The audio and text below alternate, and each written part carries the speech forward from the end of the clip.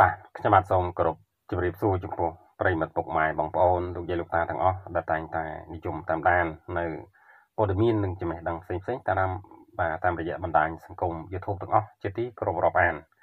ថ្ងៃនេះដែរខ្ញុំបានបានលើកយកនៅអត្ថបទព័ត៌មានមួយទៀតហើយបាទដែលមានចំណងជើងថាស្ទើរតែមិនគួរឲ្យជឿបាទគៀដែលមានកម្ពស់10ជាន់ត្រូវបានសាងសង់រួចរាល់ដោយប្រើរយៈពេលត្រឹមតែ28ម៉ោងតែប៉ុណ្ណោះបាទ លឿនម្លេះបាទបាទបើយោងតាមការចុះផ្សាយបាទរបស់បាទផលបាទផលផល new បាទផលផល new សាប់បាទកាលពីថ្ងៃទី19ខែមិថុនាឆ្នាំ2021កន្លងទៅនេះ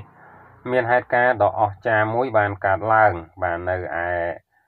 បាទ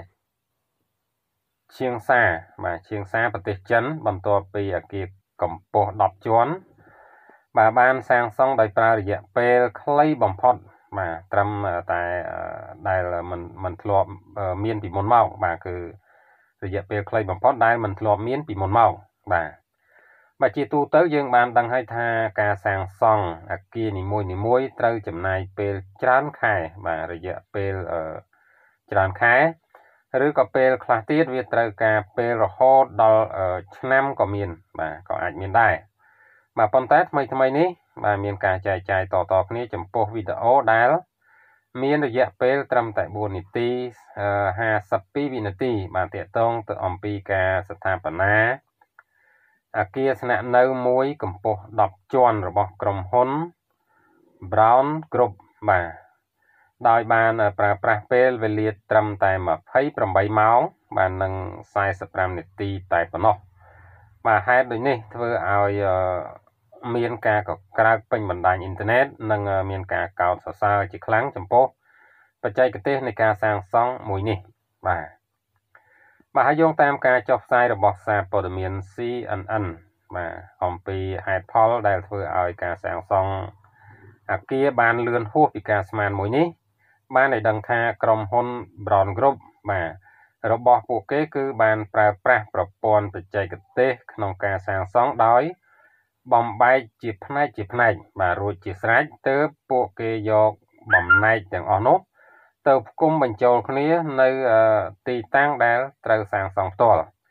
បាទក្រោយមកពួកគេក៏បានដឹកជញ្ជូនបន្ទាប់បាទបន្ទប់នីមួយៗ ដែលបានធ្វើរួចរាល់នៅឯរោងចក្រផងដែរបាទទៅភ្ជាប់គ្នាជាមួយនឹងអាគារបាទទៅតាមចន្លោះដែលពួកគេគ្រោងទុកបាទហើយពួកគេគ្រាន់តែពិនិត្យមើលប្រព័ន្ធទឹកបាទភ្លើងឲ្យបានរៀបរយជាការស្រេចបាទពួកគេបានអះអាងបន្ថែមទៀតថាអាគារនេះគឺគឺជាអឺ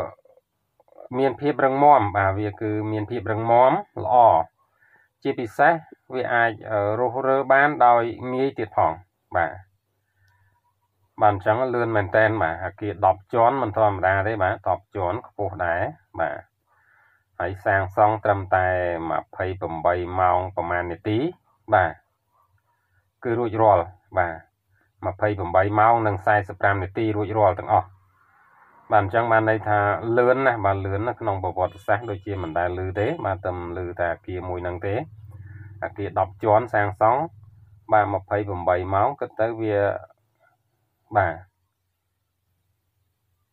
មិនដល់2ថ្ងៃផងបាទអត់ដល់2ថ្ងៃផងបាទអញ្ចឹងលឿនមែនតើបាទគួរឲ្យកោតសរសើរណាស់បច្ចេកទេសរបស់ចិនបាទបាទអរគុណចំពោះការតាមដានទស្សនារបស់ប្រិមត្តពុកម៉ែបងប្អូនលោកយាយលោកតាទាំងអស់បាទក៏សូមជួយចុច like share ចុច subscribe និងសញ្ញាកណ្ដឹងដើម្បីទទួលបាននៅ